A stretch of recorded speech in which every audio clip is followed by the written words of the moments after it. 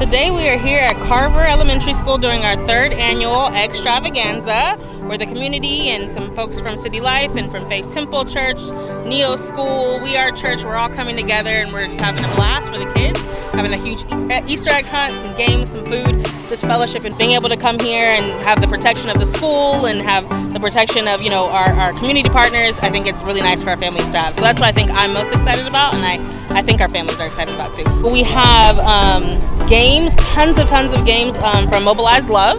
We have an amazing raffle that was, is hosted by Mobilize Love, City Life Church, and Faith Temple Church. Face painter. We're gonna have a massive Easter egg hunt where there's over thousands of eggs that's gonna be scattered behind me, and kids are just gonna be able to be free to grab as much candy and good stuff as possible.